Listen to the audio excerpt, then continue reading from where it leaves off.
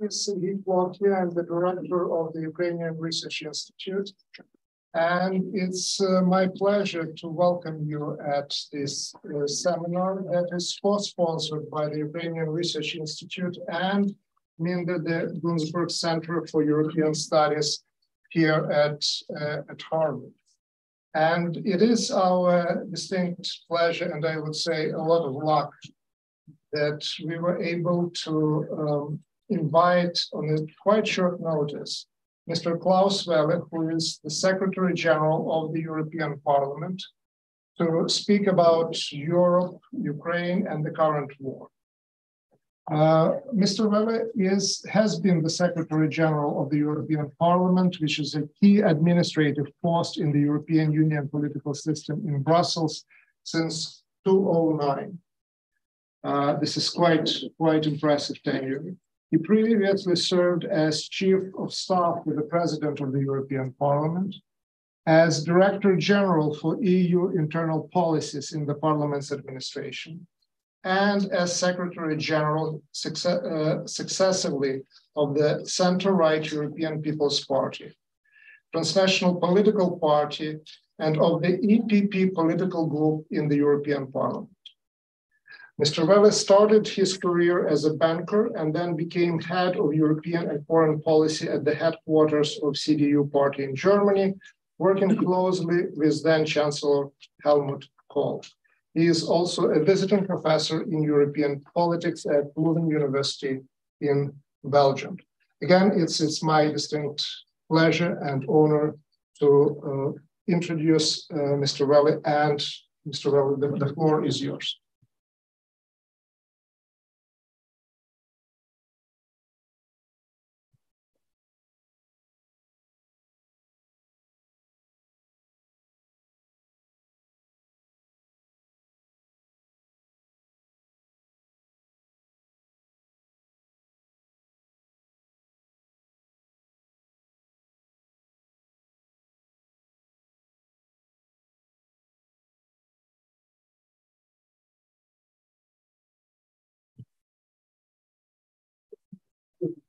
Uh,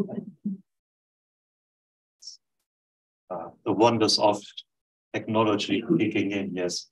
Um, maybe let me first uh, thank you for this invitation and also say that the honor is um, absolutely on my side to be invited here and to be able to speak.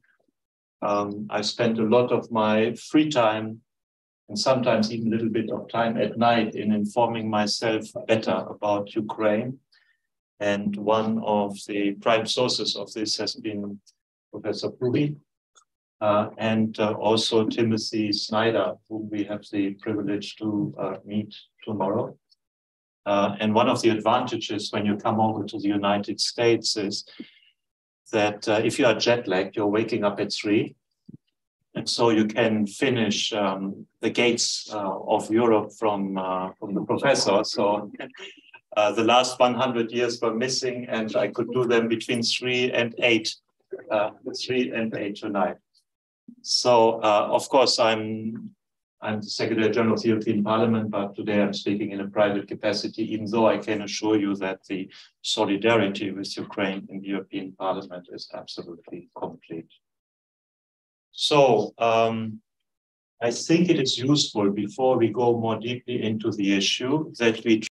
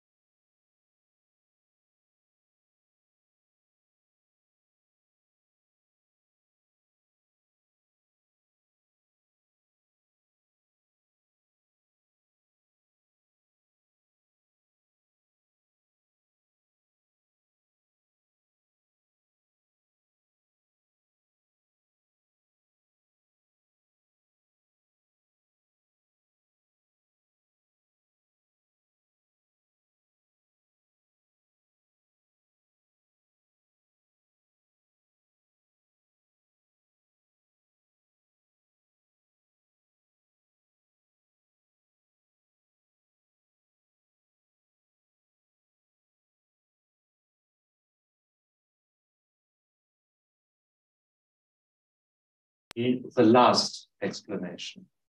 Before you resort to madness, you should try to find out whatever kind of rational, reasonable explanation you can find, even if, and maybe especially, that is not your rationality.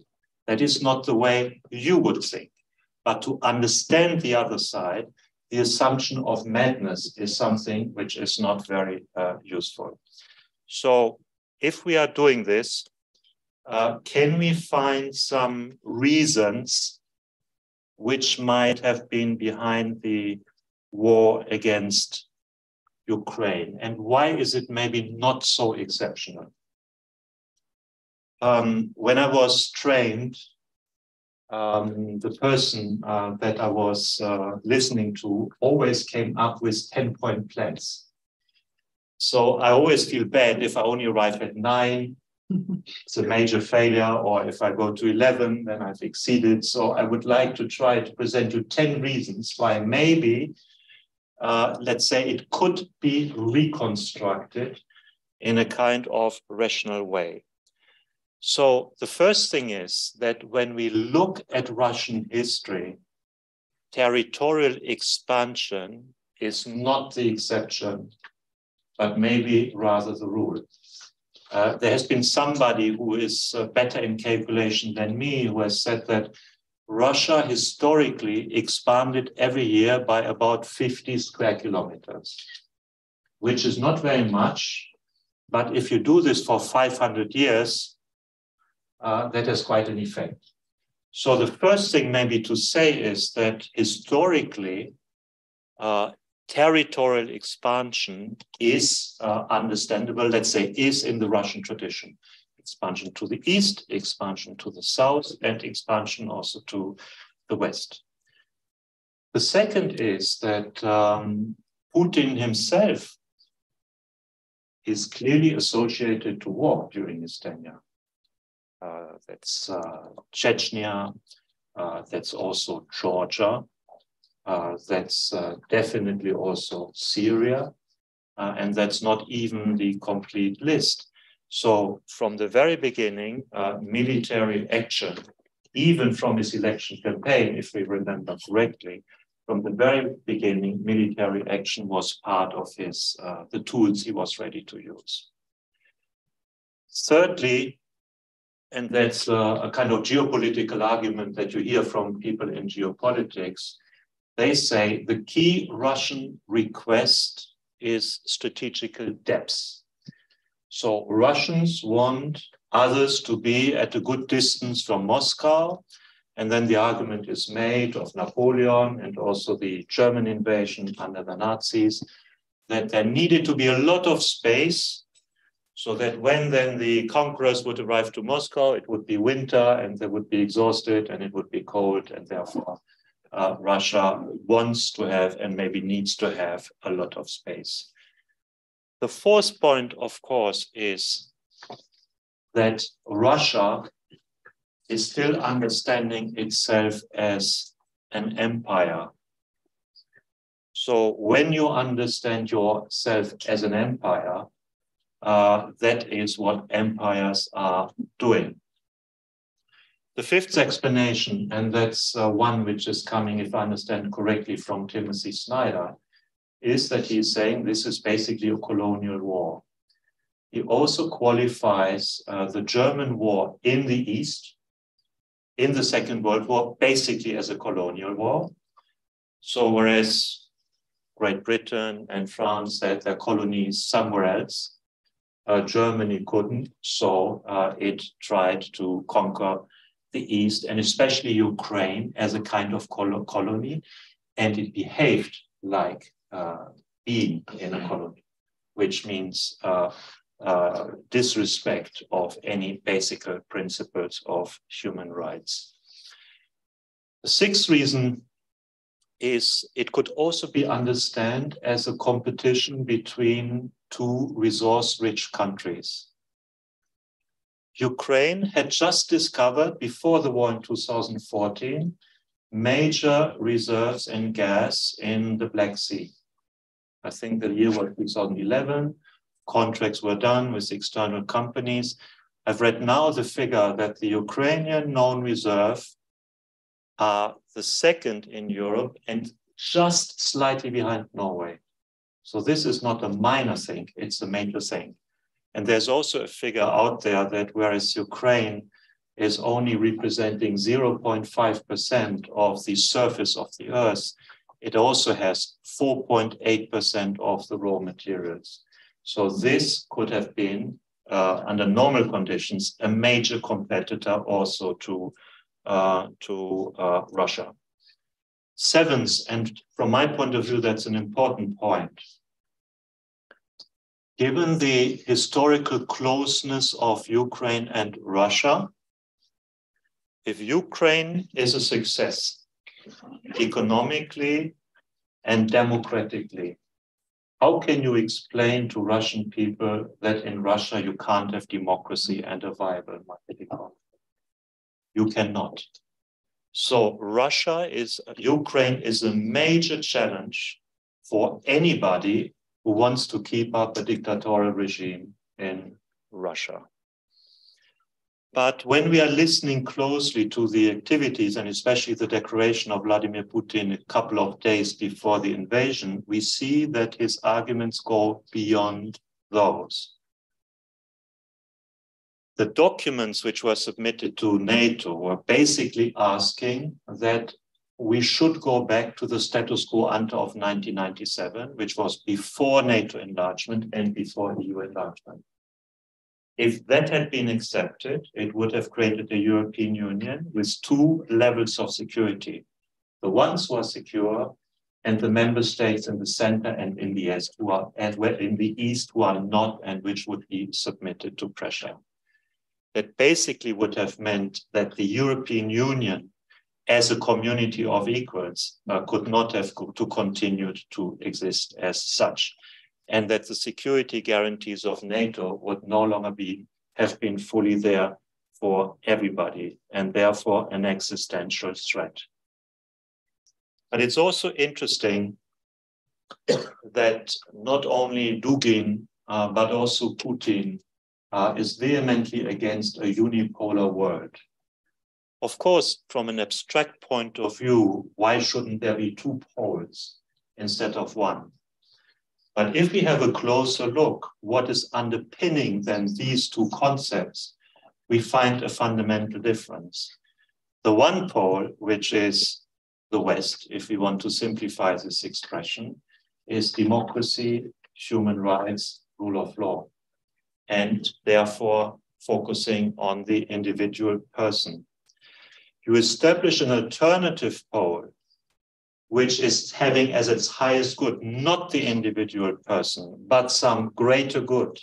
Might it be eternal Russia, or might it be the future of the Communist Party of whatever country? You are very close to violating principal individual human rights. And that's exactly what we are seeing nowadays in Ukraine, in Bucha, in Irpin, uh, but also in China when we are thinking of 1 million Uyghurs uh, were in so-called re-education, uh, in so-called re-education camps. And last not least, he's making the argument that there's no Ukrainian people and that there's no Ukrainian state. Basically, everybody is Russian. Belarusians are Russians, Ukrainians are Russians, Russians are Russians. So that means there is no acceptance of a sovereign Ukrainian state. And in the argument he makes in his speech before the war, he is having an interesting historical discourse. He's saying that Lenin was incredibly naive because Lenin allowed for a Ukrainian republic to exist and he was even more naive because he allowed this republic to have real rights. In common knowledge, Lenin is not known to be terribly naive. He then says that Stalin did a little bit better. His mistake was that he continued to accept a Ukrainian republic, but at least he largely emptied it of decision making capacity. And he, Putin, is now uh, completing the process because there shouldn't be an NPT. And of course, there shouldn't be independent decision making.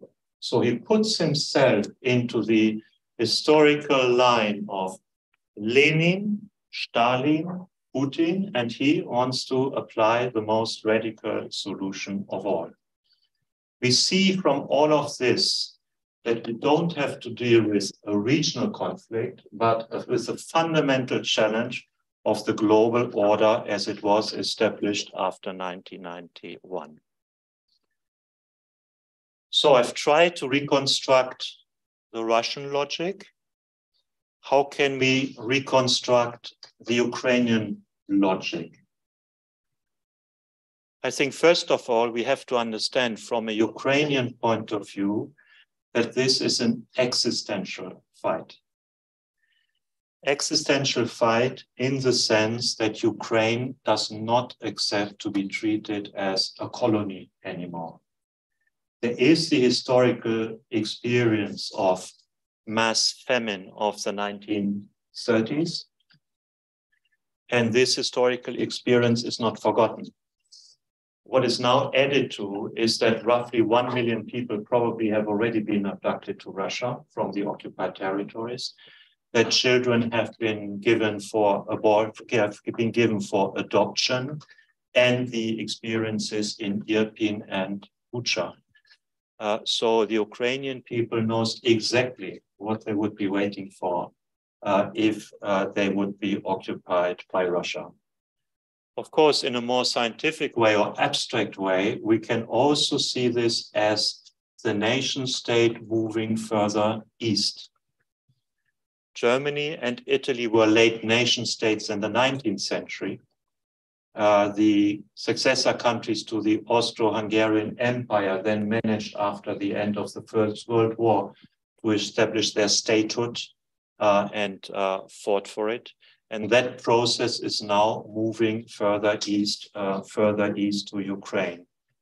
What is very important is that this idea of nation in Ukraine is inseparably linked to the idea of Europe.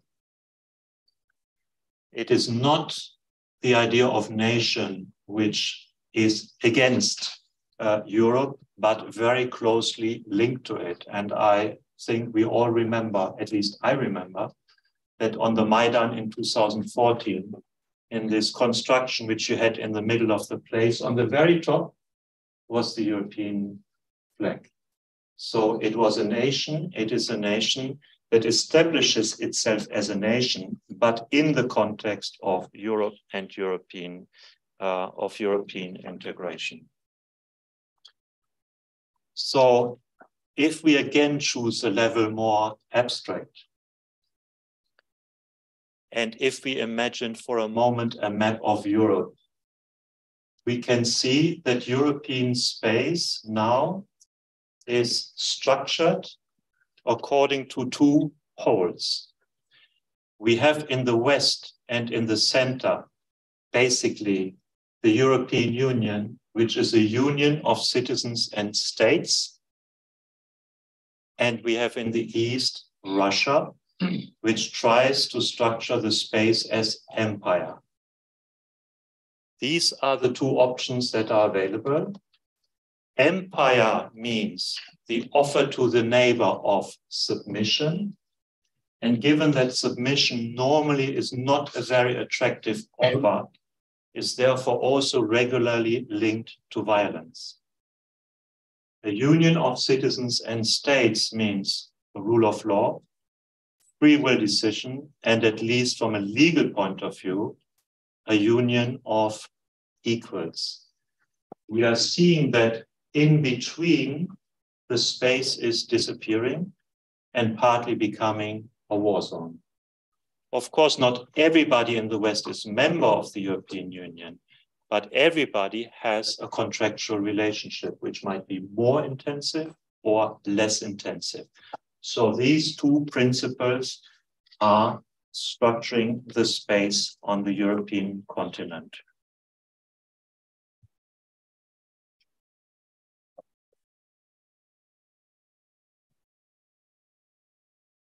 So, what is the effect then now on the European Union itself? I think we can observe that in moments of crisis, the European states are now rallying and trying to take joint decisions in Brussels together. We've seen this during the financial crisis, but still it took years. We have seen it during the COVID crisis. It still took six weeks. And we've seen it in the case of Ukraine.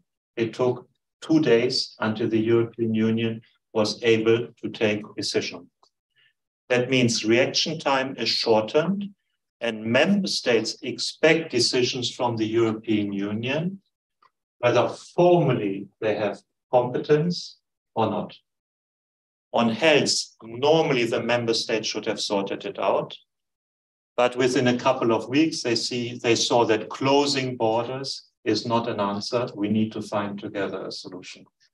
The European Union in itself is not very strong in security and defense, but within a very short time, it became clear that the European Union had to agree on a common strategy together. There is a book title which is called The Weaponization of Everything.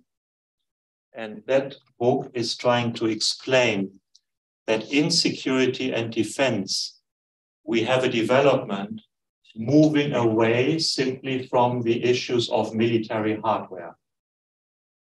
We have seen that Russia tried to destabilize Poland by bringing refugees to the Belarusian Polish border. We are seeing that energy is being used as a weapon in this conflict. So, in times of weaponization of everything, NATO alone does no longer have the complete toolkit. And that meant that the European Union itself had to play a kind of leadership role. First, to accept millions of Ukrainian refugees under very, uh, let's say, human conditions. Secondly, to pass altogether eight sanctions packages and sanction packages which went far beyond anything that was done in the past, might it be on uh, Iran or on other cases. Third, finance. Uh, I've seen a graphic of the Institute for Weltwirtschaft in Kiel, which is saying that if you put everything together, uh, the United States had the biggest contribution, but the second biggest contribution was from the European Union institutions. Third, Britain. Fourth, maybe to the surprise of some, Germany. Um, the European Union is even financing the acquisition of weapons. In the meantime, more than 3 billion euros for weapons for Ukraine.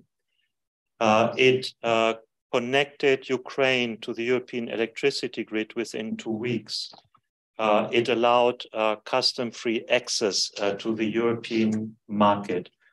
Uh, it had to coordinate energy policy on very difficult circumstances but maybe most important, it provided hope by giving Ukraine the perspective as a candidate country uh, for the European Union, however long that road might be. So, in fact, NATO and European Union have become complementary, also in security policy in times of the weaponization of everything and the coordination between the highest level of the European Union and the United States key decision makers were daily. Another effect of this is that uh, opportunistic players, might it be states or might it be parties, who in the past tried to profit from the European Union and from Russia and from China, uh, I think now see now their possibilities reduced and have to align. So is everything positive and easy? Um, your professor would probably give me a very bad note if uh, that would be as a conclusion. So where are the difficulties? I think there are multiple, multiple factors which could also lead to destabilization and which are probably the hope of the current Russian regime. First, inflation. And as a consequence of inflation, interest rates are back. A debt is not a major problem as long as interest rates are zero. But if interest rates are no longer zero and can't be zero because inflation is back, interest rates uh, start to play a major role. That also means that the effect of debt is reactivated. And we've seen on the 23rd of September in Great Britain that, uh, let's say, uh, not so careful announcement of a mini budget uh, basically led to the freeze of the pension fund market within the question of minutes, if not, uh, if not hours. And of course, energy bills are increasing. Uh, I still believe that will not have an immediately negative effect, but of course it can change uh, the political competition in the European Union. At the same time, um, at the same time, there are multiple transitions to be financed. Uh, the transition to decarbonization will need a lot of money from, from public actors. The investment in defense will need important amounts of money. The demographic change, which is finally coming to fruition, uh, I'm born in 1964. Uh, so that was the year with the highest birth rate in Germany. Uh, the, this year is going slowly into retirement. The ones replacing are much smaller. These are challenges that also need to be covered by the economic system, plus deglobalization. So what is the overall consequence of those changes, especially um, in the global context? Uh, 30 years ago, in 1991, when the Soviet Union broke down, we all believe this is the end of system competition. And because of the end of system competition, what really remained was the focus on price. So things were produced wherever the price was the lowest. This had a strong effect of lowering prices. The new situation means that the price paradigm as the most important element is step by step replaced by the security paradigm.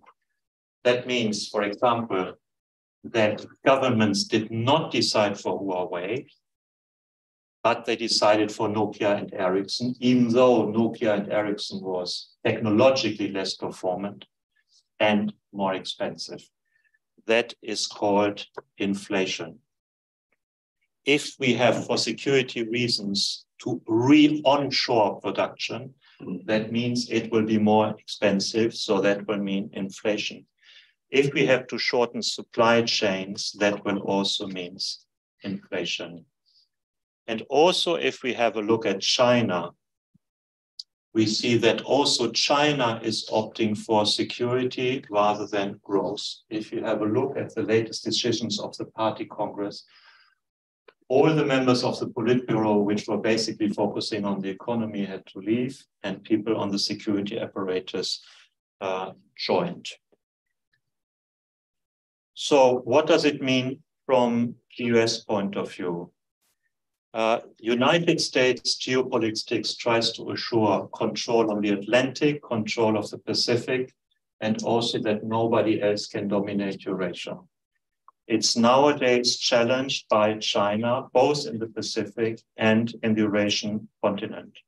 That means the fight for number one uh, is uh, opened. For Europe, we are going through a time of disruption and further disruptions are possible. We are seeing that sanctions regimes can change the um, can change economic relations basically over a weekend. Uh, we are having the issue of Taiwan on the table, uh, with China absolutely being determined to reintegrate Taiwan into, uh, into China.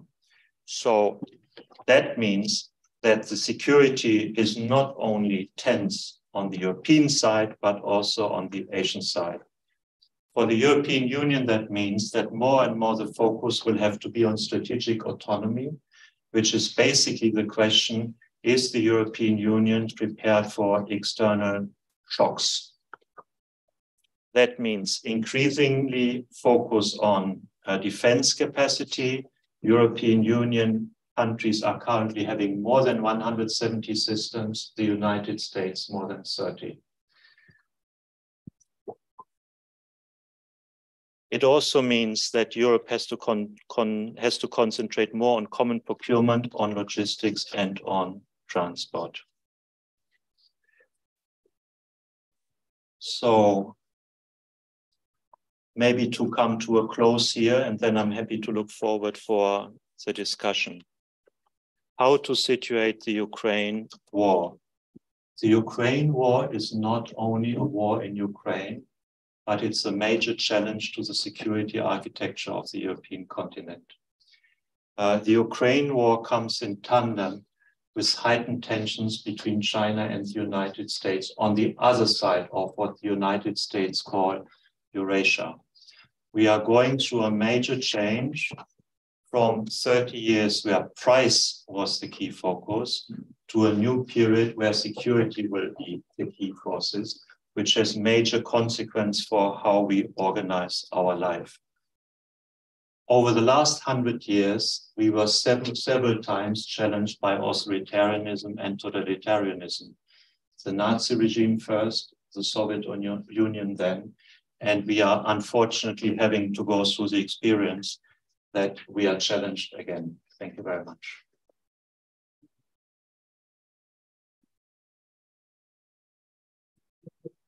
Thank you. Uh, thanks a lot. Uh, uh, I'm really uh, impressed with the way how you presented things, and uh, I'm not sure about the banking uh, industry, but the academia certainly lost you once you decided to go into politics because in my own lectures, I never managed to get beyond three points.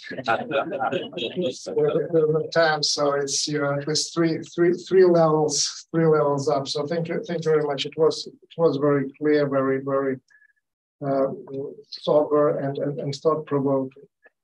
Um, I uh, ask, I will use my, my position as, as the chair and moderator to ask the first question. And then uh, while uh, I am asking my question and will care to, Roland's response, this is an invitation to all of you to come up with, with, your, uh, with your questions or comments.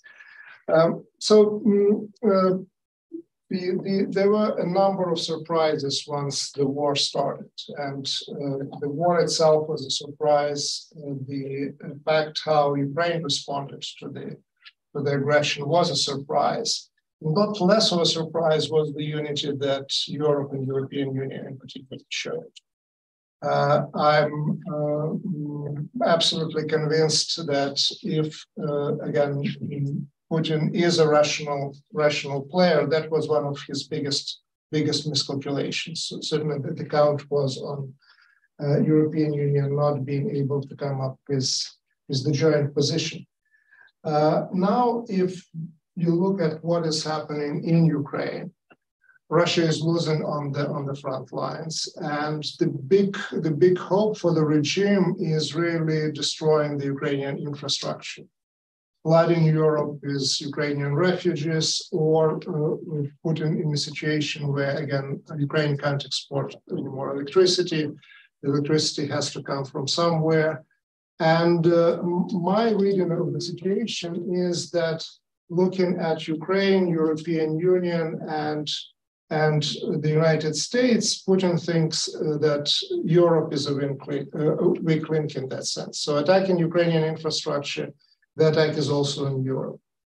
And um, uh, I uh, certainly very much hope that he miscalculates this time exactly the way how it happened uh, back in January and in February of this year. Uh, but uh, what uh, what are the the forces? What are the tendencies within the European Union? Thinking that um, uh, can can give us some hope that actually Europe will will continue doing the right thing and will hold together. You mentioned the, the issues and the problems, but what are things that maybe emerged since February that were not before, and things that we have to watch, look at, and and things that can provide us with with hope. Mm -hmm. um, maybe let me start there. Um, on the Russian aggression in Ukraine, uh, we had a unity in the European Parliament, which I think uh, went far beyond expectations. Uh, and even where you have, would have assumed that maybe there would be dissent uh, or opposition, there wasn't. And the European Parliament is, I think, a very good sounding board uh, of, uh, let's say, the political forces in Europe in the different uh, member states, but also in the government. So that solidarity was absolutely unique, astonishing very positively. Uh, and we haven't seen any erosion in this uh, up to now. So um, I do not believe uh, that this would be differently different on the government side uh, as it is in the parliament, because the parliamentary political parties also represent at the end of the day those in opposition, but also those in government.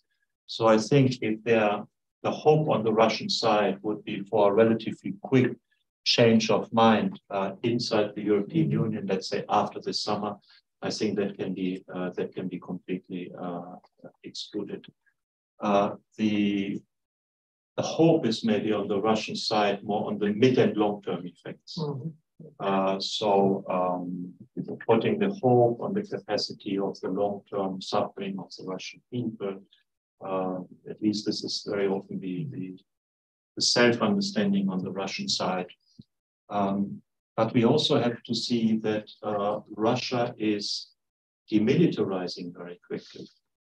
Um, it's a bit ironic uh, that the war aims were the demilitarization and denazification of Ukraine. Uh, but instead, we are seeing the demilitarization of Russia, with the exception of the nuclear arsenal. Um, there are people who know better than me, but who are saying that when it comes, for example, to specialized troops, Russia might already have lost about three quarters of them, especially in the attack on Ukraine. Um, we see that now when the hardware is being activated, very often we see tanks which were produced in the 1960s of the last century, which is about 60 years ago. Uh, and that the new recruits are given material which, uh, let's say, is, uh, is, nearly, is nearly dysfunctional. And it seems that the sanctions are working in the sense that, with the exception of Iran, nobody is supporting Ukraine uh, militarily, Russia, Russia militarily. Uh, so Iran with the uh, with the drones. If the situation remains the same, that at the same time Ukraine has uh, a steady, maybe not sufficient, but a steady flow of support financially, but also militarily from the United States and from uh, European Union countries, uh, which allowed Ukraine, together with what they could get from the Russian forces in the quick offenses, especially in Kherson, uh, then the military situation uh, is not improving for, for Russia. And we see that in the two cases where the United States decided to engage in Europe in the long term, which were the First World War and the Second World War, that was at the end uh, of the day the decisive element that changed uh, that changed the outcome decisively. Uh, from this, uh, so from this point of view, I'm I'm optimistic uh, that Ukraine can can prevail, um, and um, that also this can happen in a relatively foreseeable future. Okay, well, thank you very much uh, for this answer and, and certainly for, for giving us a vote. So I'm, as promised, I'm opening the floor for questions and, and comments. Yes. Yes. And uh, if, uh, if you can please uh, introduce yourself. Uh, Christina Zabriskie from, from Minnesota. Came to visit my daughter in Boston. Anyway, thank you for speaking and your last sentence giving us hope. and as a, a Ukrainian born in America, we're just so overwhelmed how good Europeans have been in and supportive, and it's good to hear. However, I'm also very worried about the nuclear threat. I mean, if I were a European and living there, I'd be scared, but I'm scared here as well. So, how re- how possible is it that this would happen from the madman? Yeah, exactly. Uh, of course, I'm I'm not an expert on this, but uh, if I listen to when I listen to the experts, I'm living to a large listening to a large large extent also to American experts. Uh, and the answer is that, um, of course, a strategic attack doesn't make sense in Ukraine because these are long long range weapons. And tactical attacks do not make sense because they would only make sense if you have a huge concentration of troops, which is not the case. Mm. If nevertheless it should happen, uh, then I think the indication from was made clear from the United States to Russia is that there would be uh, a strong retaliation on a conventional level, which doesn't make it interesting for uh, for Russia to use this.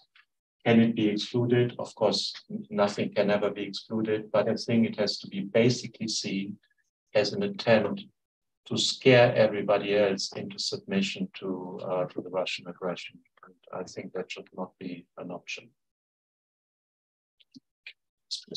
Yeah. Uh, so uh, what you've had to say has been. Yeah, I'm sorry. Uh. If everyone can introduce themselves, yeah, thank you. Appreciate it. Yeah. So Robert Rosenberg. Uh, I advise on policy issues, and I advise on business issues. Um, and uh, in that context, um, from my own point of view and recommendations, I think that your talk was one of the best. And uh, you included all the factors. Um, only being able to ask one question, I'll at least ask a very important question on behalf of Ukraine, which is, uh, is there some mechanism that we could send set up in order to keep the Ukrainians, as many as we can, uh, warm through the winter, or at least be able to survive that, and possibly a joint effort between the US and the EU and NATO. Yeah, um, I've just learned, I think, yesterday that it seems that um, uh, there is now um, electricity being provided from Slovakia into Ukraine. Uh, I don't know to which degree or with which capacity, but we know that Ukraine has provided uh, Western Central Europe with a lot of electricity. Now that is missing, but it seems that the technical installations are there for now for electricity to flow into Ukraine. Of course, that comes at a price that's relatively, of course, more expensive what is coming from Western and Central Europe. But it seems that the technical conditions are there for a flow into the other direction towards uh, towards Ukraine. And that should also be important for, for the winter. If I could just add to what I'm asking about, is there are many, many homes and, and uh, multi-family buildings which have been uh, all but destroyed, people just living as best they can, but no way to have heat. Um, and so perhaps we can include that in the, the equation.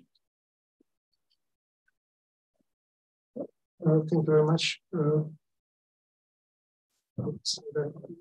um, Mikhail Soldatenko, visiting researcher at Harvard Law School. Uh, my question relates, uh, thank you for a very great speech. And uh, my question relates to the elections in Brazil, uh, the change of government or President-elect Lula. He's considered to be uh, more liberal and uh, more would be more cooperative with the European Union, etc. Do you think that this new government would be a better partner in terms of in, on the war in Ukraine with the European Union than the previous one? And what are other broad uh, consequences of this change?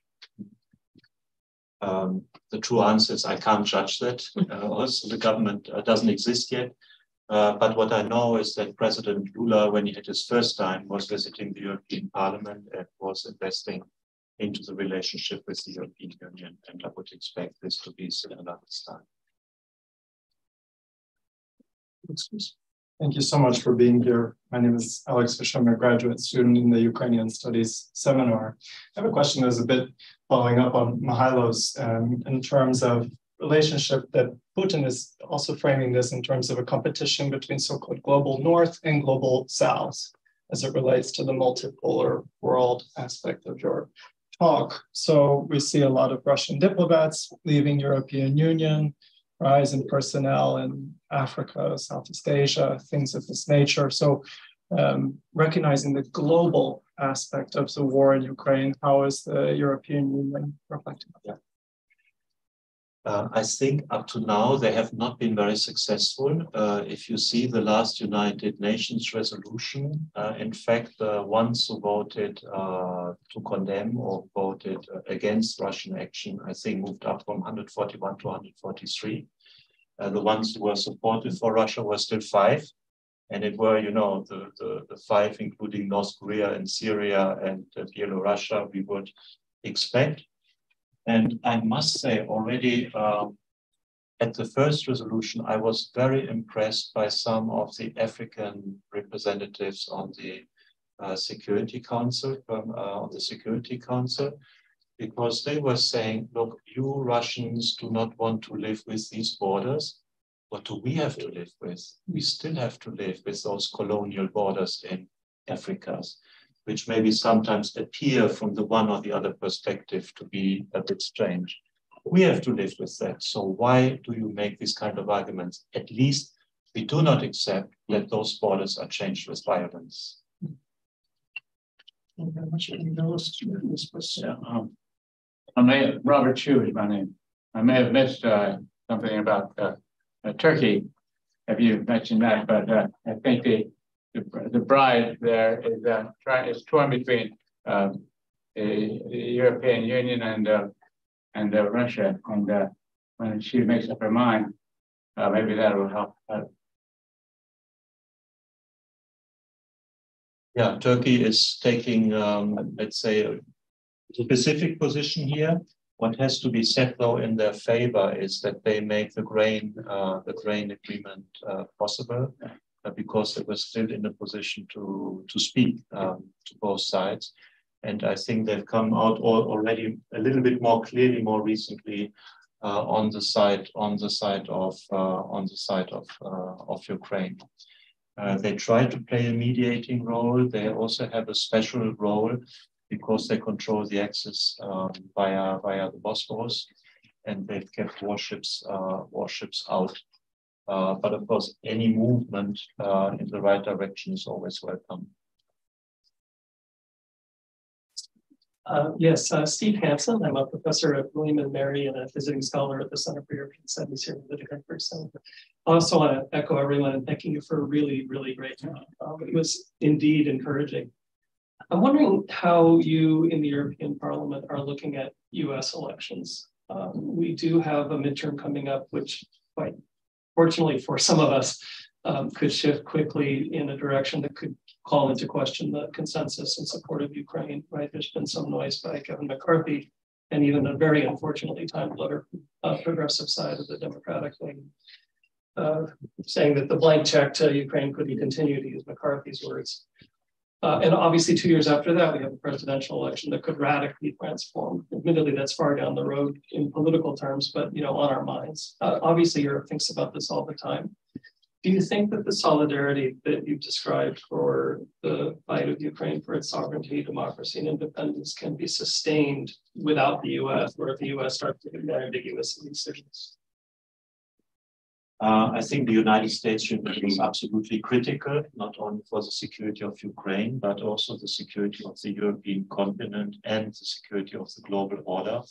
And therefore, um, it is critical that on foreign policy a bipartisan consensus is being, is being maintained. Without that, every presidential election would turn into a gamble, uh, basically. So I think the, the role of um, let's say, experienced and internationalist Republicans is becoming absolutely critical and, and very, very important. Uh, and uh, I know that uh, many of them are very, very engaged. Um, I was uh, invited some months ago to have a discussion um, also on YouTube uh, with uh, General McMaster, who was the national security advisor to Donald Trump for a year before he was fired, uh, uh, who, wrote, uh, who wrote his book Battlegrounds. And you cannot have, you surely, let's say, from that political spectrum, but you couldn't have any, you couldn't have anybody who would be more clear on that conflict. so um, I think that's that's the hope and what we all have to work for. Unfortunately, the boundary uh, in the United States, which leads to more and more secure election areas uh, for House members, uh, leads to a situation where there are very few incentives to cooperate across the aisle.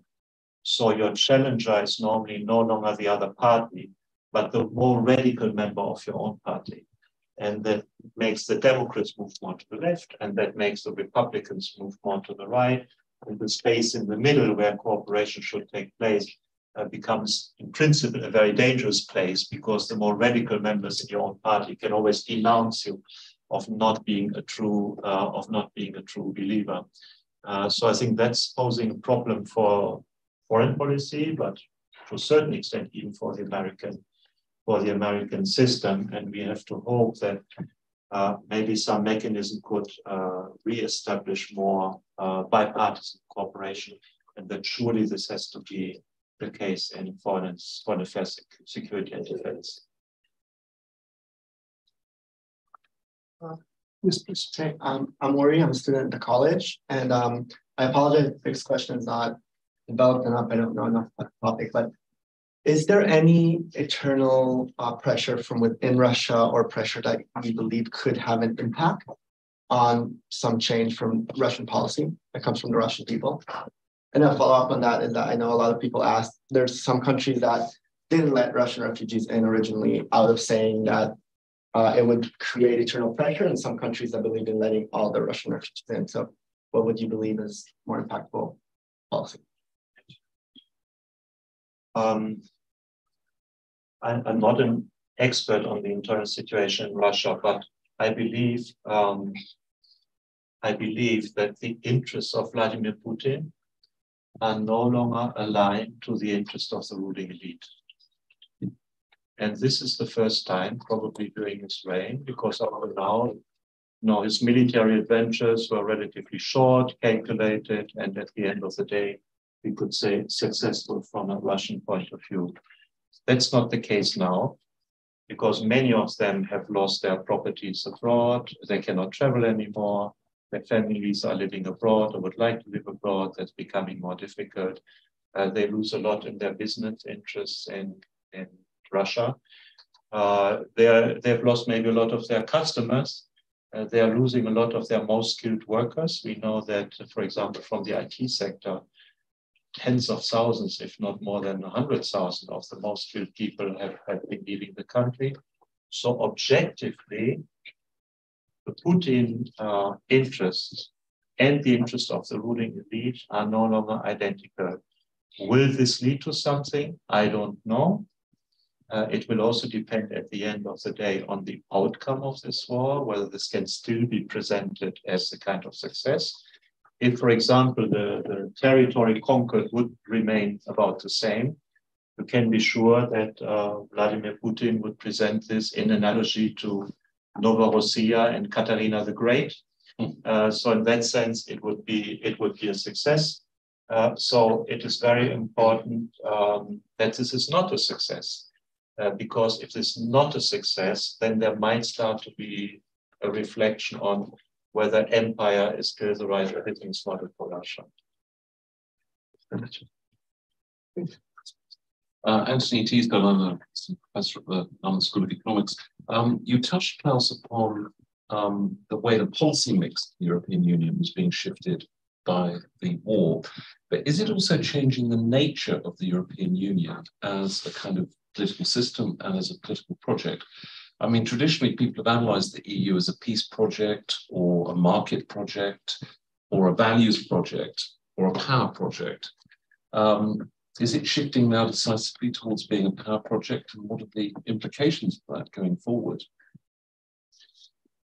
Yeah, um, I would say the following. Um, you have already kindly mentioned in your introduction that I've, I've become a, a visiting professor at Leuven University. And um, so uh, last year I had to give a number of talks on geopolitics. And uh, the advantage when you don't know a lot about it is that you can think in a fresh way. Um, so we know that Ursula von der Leyen announced in 2019 that now the European Union should become a geopolitical union. I think at closer reflection, uh, the European project has been a geopolitical project from the very beginning because it has been transforming space. The conflict between Germany and France about who is controlling the Rhine doesn't make sense if you belong to the same entity and everybody has access. Belgium as a buffer state doesn't make sense if Belgium is a member of the European Union. Um, Northern Ireland. Uh, Northern Ireland. Northern Ireland conflict area, if everybody is a member, if Britain and Ireland are members of the European, this the conflict suddenly disappears. And uh, enlargement led to, for example, becoming the Danube an internal river of the European Union. Maybe not sufficiently aware, and us becoming a Black Sea, uh, a Black Sea uh, country uh, entity. So my argument is that in fact, uh, the European Union is a geopolitical actor through membership, through enlargement, through association agreements, because the economic streams, but even the people context were completely changed with the association agreement for Ukraine, even with customs unions or trade agreement. That means to a certain extent, it's a different kind of geopolitics, one which doesn't rely on weapons, arms, war, and violence, but on contractual uh, on contractual relations.